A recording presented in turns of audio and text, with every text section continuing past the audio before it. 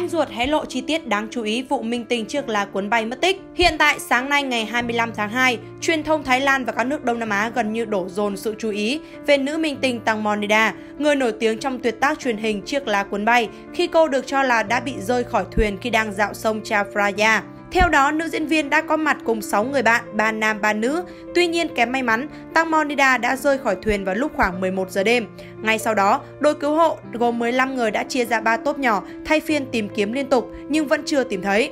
Ngoài ra, phía gia đình của nữ diễn viên cũng đã đến hiện trường. Đáng chú ý, anh trai Tăng Mò khẳng định vẫn chưa tìm thấy em gái, kể cả điện thoại. Điều đó có nghĩa hy vọng cô nàng còn sống sót vẫn có thể xảy ra.